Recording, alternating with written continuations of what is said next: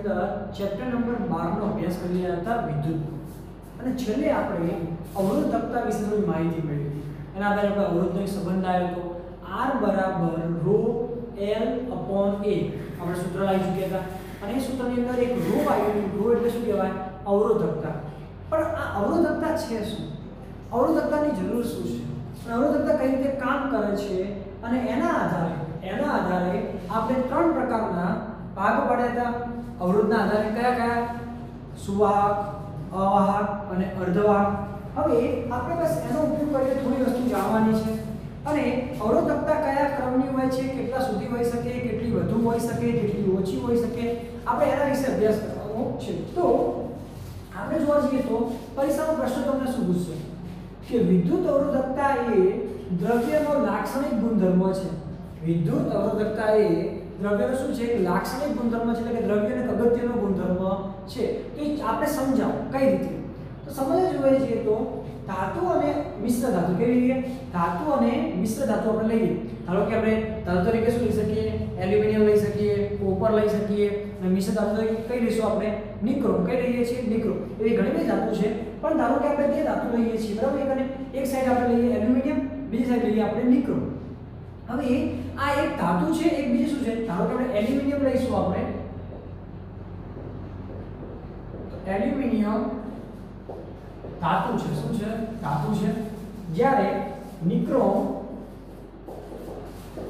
મિશ્ર ધાતુ, શું છે? મિશ્ર ધાતુ. તો આની જે અવરોધકતા જે છે, ધાતુ અને મિશ્ર ધાતુની અવરોધકતા, એનો ગાળો એટલે કયા ક્રમની હોય છે? તો 10 ની માઇનસ 8 ઘાત ઓહમ ઇન્ટુ મીટરથી 10 થી માઇનસ 6 ઘાત ઓમ ઇન્ટુ મીટર આ ક્રમ શું બતાવે છે? એટલે કે ધારો કે અવરોધકતા હોય તો કેટલી હોય? અંદાજે. તો કે 2 ગુણ્યા 10 ની માઇનસ 8 ઘાત ઓમ મીટર અથવા 3 ગુણ્યા 10 ની માઇનસ 6 ઘાત ઓમ ઇન્ટુ મીટર. આ રીતે એમની અવરોધકતા મળે છે. એટલે કે એમની ઘાત કેટલી હશે? 10 ની માઇનસ 8 ઘાત. આ 10 ની માઇનસ 8 ઘાત એટલે કે 1 ભાગ્યા એક ભાગ્યા દસ કરોડ. કેટલો કહેવાય? એક ભાગ્યા દસ કરોડ. એટલે વિચાર કરો 10 કરોડનો 1 મો ભાગ. 10 કરોડનો એક ભાગ લેવાનો છે, એવી વાત કે છે, એટલે કે ઓછી કહેવાય. કેવી કહેવાય? ઓછી કહેવાય. અર્થાત તેમની અવરોધકતા કેવી હોય છે? ઓછી. કેવી હોય છે? ઓછી. અને અવરોધકતા જેટલી ઓછી, અવરોધકતા જેટલી ઓછી, એટલે પ્રવાહ શું હોય? વધુ. કેવો હોય? પ્રવાહ વધુ. તમે કહેશો સાહેબ, કઈ રીતે? તો આપણે સમજીએ. આપણી પાસે એક વસ્તુ છે. એ પોઈન્ટને થોડું ક્લિયર કરીએ ચલો. આપણી પાસે અવરોધનું સૂત્ર શું મળ્યું આપણને? R બરાબર rho L upon A. આટલું મળી ગયું આપણને? R બરાબર rho L upon A. પરંતુ આપણી પાસે પ્રવાહનું સૂત્ર છે. પ્રવાહનું સૂત્ર શું છે? તો I બરાબર V upon R. V upon R. તો એક જોવા જઈએ? V upon R. હવે એક આપણે કિંમત મૂકીએ. કોની કિંમત મૂકશું? R ની. R ની કિંમત મૂકીએ. તો V rho L upon A લેવાય. બરાબર? ચલો, L અને A અચળ લઈ લઈએ. કેવા લઈ લઈએ? અચળ. તો અહીંયા શું મળે તમને? કારણ કે આખા આખા ભાગ આપણે ચલ લઈ લઈએ. ચલો, આના બરાબર આપણે લઈએ આર ચલે છે, રો શું લઈએ? રો. તો વી ચલે, વી અપોન શું આવશે? રો. તો વી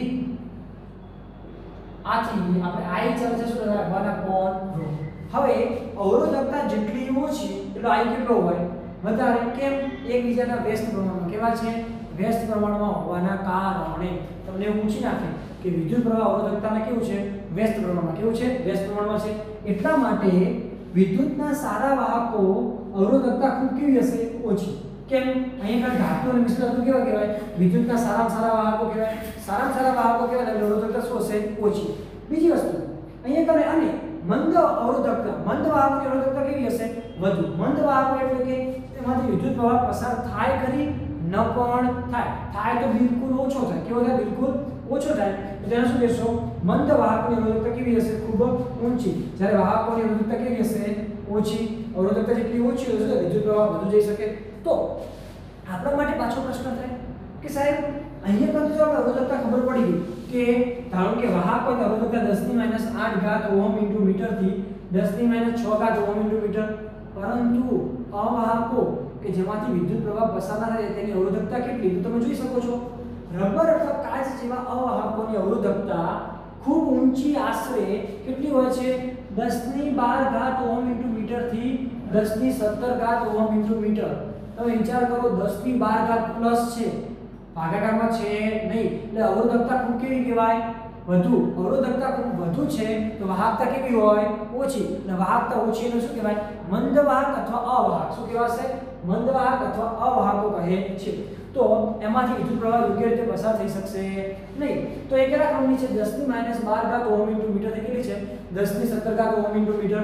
હવે, આપણા માટે એક પાછો પ્રશ્ન થાય. આ તો પણ ખબર પડી કે સર કે અવાહક અને મંદવાહક, એમાં તો ખબર પડી ગઈ કે સુવાહક કોને છે અવાહક કોને છે સુવાહકોમાં ધાતુ અને મિશ્ર ધાતુ બંને આવશે. અવરોધકતા કેટલી આવે? 10 ની માઇનસ 8 ઘાત ઓહમ મીટરથી 10 ની માઇનસ 6 ઘાત ઓહમ મીટર. અહીંયા કેટલી છે? અવાહકમાં 10 ની 12 ઘાત ઓહમ ઇન્ટુ મીટરથી 10 ની 17 ઘાત ઓમેગા ઇન્ટુ મીટર. આ તો આપણે સાહેબ કિંમત પડી ગઈ. પરંતુ, શું પરંતુ? પરંતુ સાહેબ, અહીંયા કરે ધાતુની કેટલી? મિશ્ર ધાતુની કેટલી? એના માટે કયો ક્રમ આવે? તો ધાતુની અવરોધકતાનો જે ક્રમ છે એ 10 ની આઠ 8 ઘાત, એટલે કે અતિ શુદ્ધ શું કહેવાય? અતિ શુદ્ધ કહેવાય. અતિ શુદ્ધ જે છે, જેમ કે એલ્યુમિનિયમ છે, બરાબર? કોપર જે છે, એ શું છે? અતિ શુદ્ધ. કેવું છે? અતિ શુદ્ધ. તો એમની અર્ધતા કેવી હશે? 10 ની માઇનસ 8 ઘાત ક્રમની તો તાંબુ અને એલ્યુમિનિયમ શું છે? તાંબુ અને એલ્યુમિનિયમની અવરોધકતા 10 ની કેવી હોય છે? માઇનસ 8 ઘાત ઓમ ઇન્ટુ મીટર. 10 ની માઇનસ 8 ઘાત ઓમ ઇન્ટુ મીટર. ના ક્રમની હોય છે. તો શું કહેવાય? અવરોધકતા બિલકુલ ઓછી, જેટલી બિલકુલ ઓછી હોય શું હોય પ્રવાહ, વધુ કેમ? એકબીજાના કેવા છે? વ્યસ્ત પ્રમાણમાં છે. આથી તેઓ વિદ્યુતના ખૂબ કેવા છે? સારા સુવાહક. કેવા છે? વિદ્યુતના ખૂબ સારા સુવાહકો છે. કોણ? એલ્યુમિનિયમ અને તાંબુ. બીજી વસ્તુ જોવા જઈએ, મિશ્ર ધાતુ. શું કહીએ આપણે? મિશ્ર ધાતુ કહીએ. હવે મિશ્ર ધાતુ એટલે શું? હોય એક કરતા વધારે ધાતુ ભેગી થઈ હોય. એટલે શું કહેવાય? મિશ્ર ધાતુ. એટલે કે અવરોધકતામાં કંઈક ફેરફાર થઈ શકે. અને અવરોધકતા કેટલી થઈ જાય છે? 10 ની માઇનસ 6 ઘાત ઓમ ઇન્ટુ મીટર. એટલે કે આના કરતા કેવી હશે? વધુ. કારણ કે 10 ની માઇનસ 8 ઘાત મોટી કે 10 ની માઇનસ 6 ઘાત તો માઇનસમાં શું હોય? જેટલું નાનું એટલું મોટું. 10 ની માઇનસ 6 ઘાત મોટી 10 ની માઇનસ 8 ઘાત નાની. તો મિશ્ર ધાતુની અવરોધકતા ધાતુની અવરોધકતા કરતા કેવી હશે? ઊંચી. કેવી હશે? ઊંચી. એટલે અવરોધકતા કેવી હશે? વધુ. અને કેટલા ક્રમની હશે? 10 ની માઇનસ 6 ઘાત ઓહમ ઇન્ટુ મીટરના ક્રમની હોય છે. હવે આપણને થાય કે સર મિશ્ર ધાતુ બનાવી કેમ પડે? કામ શું છે? તો મિશ્ર ધાતુ જેટલી અવરોધકતા વધુ હોય એની ઉષ્મા ઊર્જા શું થશે? વધુ સંગ્રહ કરે. શું કરશે? વધુ. એટલે કે તાપમાન વધે તાપમાન વધે તો આપણે શું ટકી શકે? શું કરે? ટકી શકે.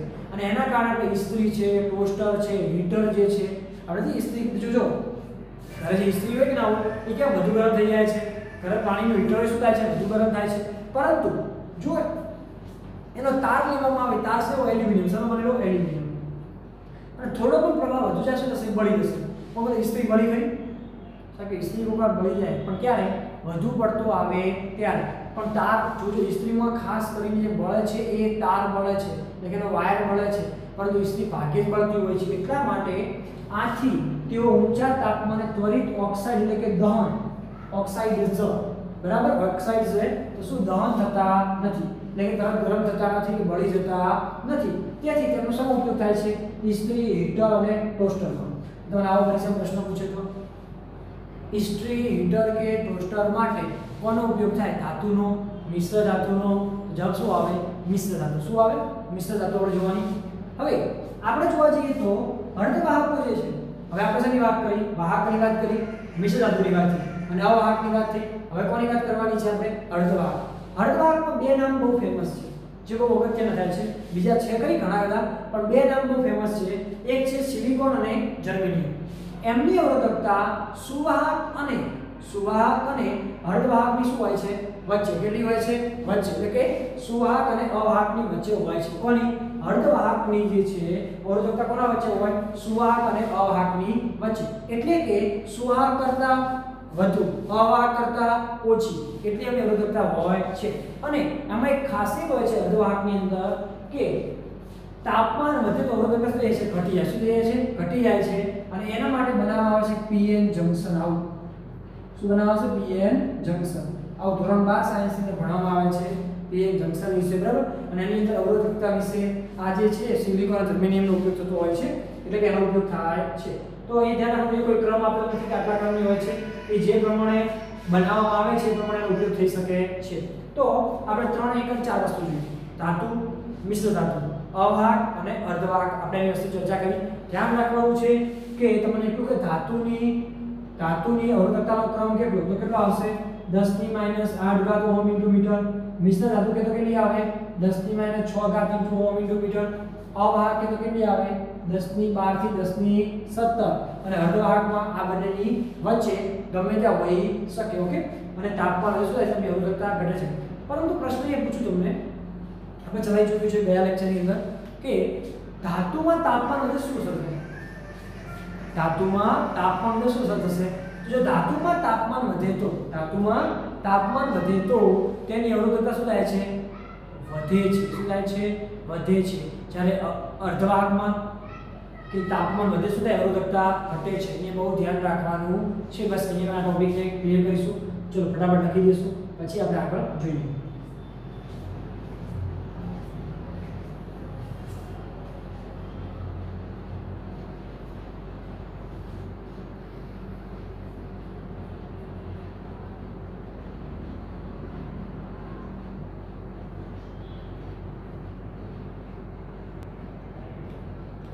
ચલો વિદ્યાર્થી મિત્રો, બીજા બે પ્રશ્નો તરફ જઈએ.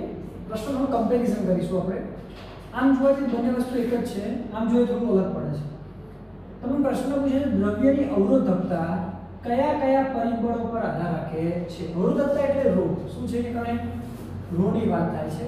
આપણે અવરોધકતા જે છે, કયા કયા ઉપર આધાર રાખશે અવરોધકતા ત્રણ બાબત ઉપર આધાર રાખે મુખ્ય બે છે. બાકી ત્રીજી બાબત સામાન્ય તરીકે ઉપયોગ થાય છે. પહેલી છે દ્રવ્યના પ્રકાર અને જાત. આપણે આગળ જ જોયું. આપણે ચાર પ્રકારના દ્રવ્યની વાત થઈ. કઈ કઈ? ધાતુ, મિશ્ર ધાતુ અવાહક અને અર્ધવાહક. તો આપણે ચાર પ્રકારની વસ્તુ ચર્ચા કરી. દરેકની અવરોધકતા સમાન હતી? ના. દરેકની અવરોધકતા સમાન હતી નહીં. તો એ શું કહે છે? દ્રવ્યના પ્રકાર પર આધાર રાખે છે. કેવા પ્રકારનું દ્રવ્ય લીધું છે? કયું કામનું છે? કેટલું અગત્યનું છે?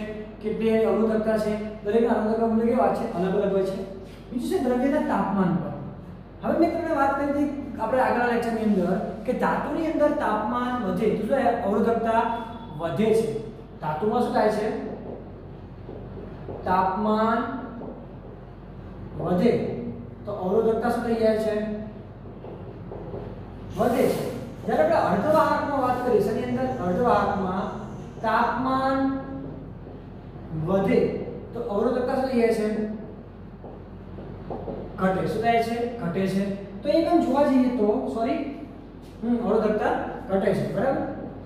તો આપણે વસ્તુને થોડું ધ્યાનમાં રાખવાનું છે કે જો બે અલગ અલગ જાત લઈએ છીએ દ્રવ્યની જાત, તો એમાં તાપમાનના ફેરફારના કારણે જવાબ થાય છે? ફેરફાર થાય છે. ત્રીજી વસ્તુ છે, અમુક અંશે તેના દબાણ પર લાગતા, તેના પર લાગતા દબાણની વાત. હવે આપણા માટે પ્રશ્ન થાય કે દબાણની વાત ક્યાં સવાય પણ તો કંઈ ખબર ના પડે. દબાણ તો અહીંયા આવી જ નથી. દબાણને શું લેવા દેવા? દબાણ એટલા માટે લેવા દેવા છે કે જ્યારે આપણે વાયુની વાત કરતા હોય કે અથવા આયનીકરણની વાત કરતા હોય, ત્યારે દબાણ બહુ અગત્યની વસ્તુ થાય છે. આપણે જ્યારે ઉષ્મીય પ્રવાહની વાત કરીશું, ઉષ્માના ઉષ્મીના કારણે કઈ રીતે પ્રભાવ મળે છે, ત્યારે આપણે ચર્ચા કરીશું. કારણ કે તમે અત્યારે ચલો, ઓછું છે, બરાબર? જ્યારે તમે અગિયાર સાયન્સમાં આવો છો ત્યારે અગિયાર સાયન્સની અંદર આ પ્રવાહનો એક કોન્સેપ્ટ આવે છે, ઉષ્મીય પ્રવાહ. એને દબાણની બહુ અગત્યની વસ્તુ છે. કે જ્યારે દબાણ એની ઉપર આપવામાં આવે છે, ત્યારે એની અંદર અવરોધકતામાં શું થાય છે? ફેરફાર થાય છે. એટલે કે સંકોચન પામે છે. કેમ કે તમે જો કોઈ વસ્તુને દબાવો છો, શું પામે? સંકોચન પામે. સંકોચન પામે શું થશે લંબાઈમાં ફેરફાર થઈ શકે. લંબાઈમાં ફેરફાર થાય તો અવરોધમાં શું થઈ શકે? ફેરફાર થઈ શકે છે. અને અવરોધમાં ફેરફાર થાય શું થઈ શકે છે? પ્રવાહમાં ફેરફાર થઈ શકે છે. આ જે ટોપિક જે છે, આપણા માટે કે જે દબાણના કારણે શું ફેરફાર થાય છે, એને સમજવા માટે આપણે એક થિયરી આગળ જોવાના છીએ. કઈ રીતે દબાણ એની પર ફેરફાર કરે છે, એ અમે ચર્ચા કરીશું તમને ઇઝીલી આવડી જશે. તો આપણે ત્રણ મુદ્દા યાદ રાખવાના છે. આ પરીક્ષાની અંદર કેટલા માર્ક્સમાં પૂછે? ખાલી એક માર્ક્સમાં કે દ્રવ્યની અવરોધકતા કયા કયા પરિબળ પર આધાર રાખે છે? એવું કે એક પરિબળ પર આધાર રાખે છે. ત્રણ જ લખવાના છે. પણ પરિબળ આધાર રાખે છે તે સમજાવો. તો તમારે શું લખવું પડે? દરેકના વિશે સમજાવવું પડે. આ તાપમાન વિશે સમજાવવું પડે. દ્રવ્યના વિશે પ્રકાશ સમજાવવો પડે. ધાતુ, મિશ્ર ધાતુ બધું સમજાવવું પડે. જે આપણે ચર્ચા કરી ચૂકેલા છીએ એ જ. નેક્સ્ટ પ્રશ્ન છે તમારા માટે. વાહકનો અવરોધ કઈ બાબત ઉપર આધાર રાખે? વાહકનો અવરોધ. તો વાહકનો અવરોધ જોવા જઈએ તો શું સૂત્ર હતું? R બરાબર ρ L upon A. તો પહેલો તો કોના પર આધાર રાખે છે? આ લંબાઈ પર. કોના પર આધાર રાખે છે? વાહકની લંબાઈ પર. પછી એ શું છે? ક્ષેત્રફળ. તો વાહકના આડછેદના ક્ષેત્રફળ પર. બીજી વસ્તુ છે અવરોધકતા. તો અવરોધકતાની બે બાબત છે. દ્રવ્યના પ્રકાર અને દ્રવ્યના તાપમાન પર. તો એ જવાબ શું આવે છે? વાહકના દ્રવ્યની જાત અને વાહકનું તાપમાન એના પર આધાર રાખે છે. તો એ કેટલા મુદ્દા આવશે? ચાર મુદ્દા આવશે. કોની અંદર અવરોધ? અહીંયા શું છે? અવરોધકતા અવરોધને દર્શાવાય આડ વડે અવરોધકતા દર્શાવશે રો વડે. એ શું કહેવાશે? વાહકની લંબાઈ પર વાહકના આડછેદના ક્ષેત્રફળ પર અને વાહકના દ્રવ્યની જાત અને વાહકના તાપમાન પર આધાર રાખે છે. તો આપણે મુદ્દાઓને કમ્પ્લીટલી ક્લિયર કરીશું. બરાબર? તો આપણે યાદ રાખવાના છે. આ ટોપિક પ્રશ્ન એક માર્ક્સની અંદર પૂછાઈ શકે. ઓકે ચલો, ફટાફટ લખી દઈશું. પછી આપણે આગળ જઈએ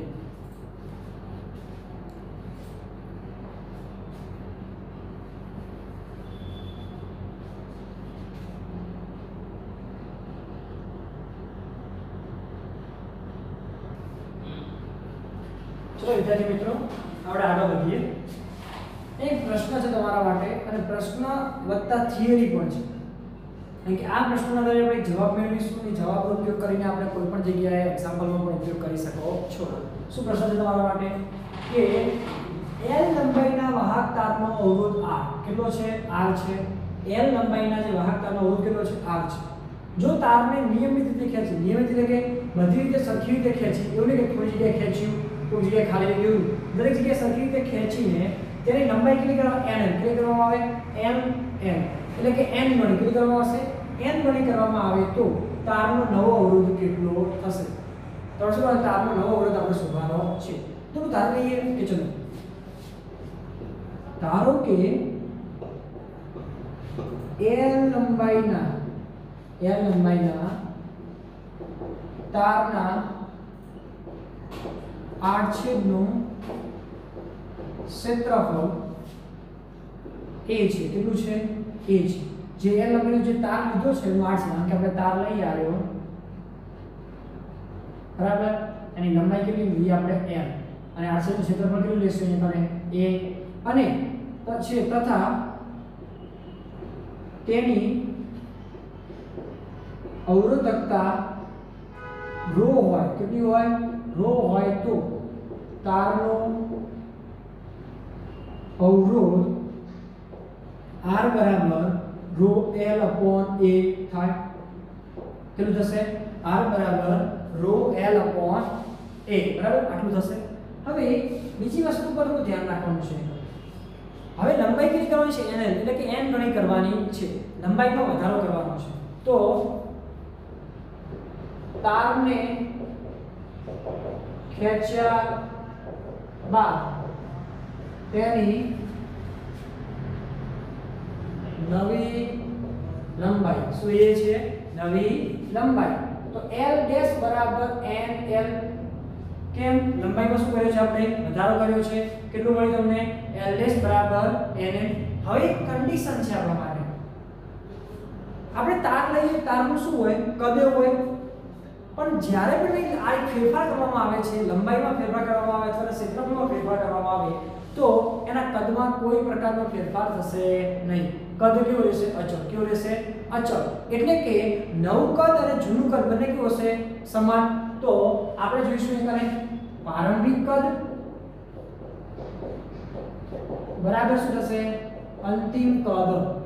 પ્રારંભિક કદ દ્વારા શું થશે? અંતિમ કદ. હવે પ્રારંભિક કદ જોઈએ. તો એક આપણે પ્રારંભિક કદ લઈએ? એ એલ કેટલું લઉં છું? AL ક્ષેત્રફળ ગુણ્યા લંબાઈને શું બતાવે? કદ બતાવે. અને અંતિમ કદ જે છે, એ લઈ લઉં છું A ડેશ L ડેશ કેટલું થઈ જાય? AL તો અહીંયા સામે A ડેશ L ડેશ હવે આનું એ જ રાખું. AL નું l રાખું. પરંતુ આની જગ્યાએ A ડેશ રાખું છું. અને L ડેશની કિંમત કેટલી છે મારી પાસે? N કેટલી છે? NL તો શું થશે અહીં LL કેન્સલ આ n ને ક્યાં મૂકી દઉં? નીચે. તો શું થશે? A n બરાબર શું થશે? A ડેશ અથવા a ડેશ બરાબર શું થશે? A upon n. ઓકે અવરોધ અંતર તો બદલાશે દ્રવ્ય જાત ઉપર આધાર રાખે છે. તો આપણે લખીએ, તારને ખેંચ્યા બાદ તેનો નવો અવરોધ, r ડેશ બરાબર rho upon a dash r dash શું થશે? Rho l dash upon a dash હજુ અહીંયા આપણે જો રો નો રો રાખીએ, l ડેશ l ડેશની કિંમત કેટલી છે આપણી પાસે? Nl ને કેટલી મૂકી દેશો? Nl પછી a ડેશ a ડેશની કિંમત કેટલી મળી? A upon n. તે મૂકી દેશો? A upon n. આ n ને ક્યાં જવા દો? ઉપર જવા દો. થશે? N n n શું થશે? N square rho mn l mn a. હવે, n સ્ક્વેર પરંતુ rho l upon a rho l upon a શું છે? r છે. એકલા મૂકી દેશું r એકલા મૂકી દેશું r તો r ડેશ બરાબર શું મળશે તમને? n n square upon r હવે આ શું છે r ડેશ બરાબર શું થયું? n સ્ક્વેર upon r એ શું મળશે આપણે જવાબ આવ્યો જોયું તો અહીંયા કર આપણી પાસે કન્ડિશન શું આવે છે? તો એવું તમને પૂછવામાં આવે છે કે કોઈ તારની લંબાઈ બમણી શું કરવામાં આવે? લંબાઈ બમણી કરવાનો તો અવરોધ કેટલો થાય?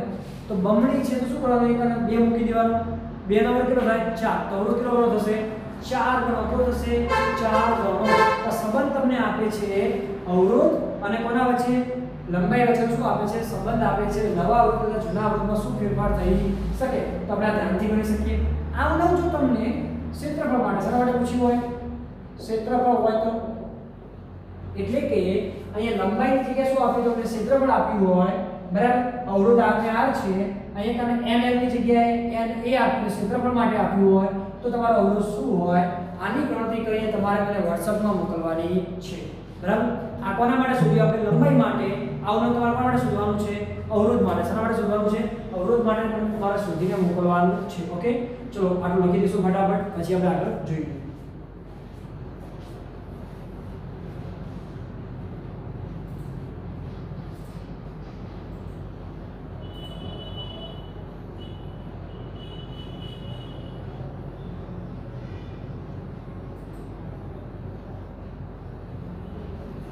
ઓકે, વિદ્યાર્થી મિત્રો લખાઈ ગયું છે તમારે. તો વિદ્યાર્થી મિત્રો, આજે આપણું રાખીએ છીએ, મેં તમને શું કીધું છે, કામ શું આપ્યું છે, આપણે જે લંબાઈ માટે સાબિત કર્યું છે, આવનો તમારે કોના માટે લાવવાનું છે, ક્ષેત્રફળ માટે લાવવાનું છે. ટ્રાય કરવાનો છે, ઘરે આવડશે જ, જેમ આપણે લંબાઈ માટેની પ્રોસેસ કરીએ કોના માટે કરશું આપણે? ક્ષેત્રફળ માટે પ્રોસેસ કરશું. પણ ધ્યાન રાખવાનું, કદ કેવું રહેશે? સમાનનું સમાન. અંતિમ હોય કે પ્રારંભિક હોય. તો મળીએ નેક્સ્ટ લેક્ચરની અંદર એક નવા ટોપિક સાથે ત્યાં સુધી વાંચતા રહો, લખતા રહો અને તૈયાર કરતા રહો. Okay thank you thank you very much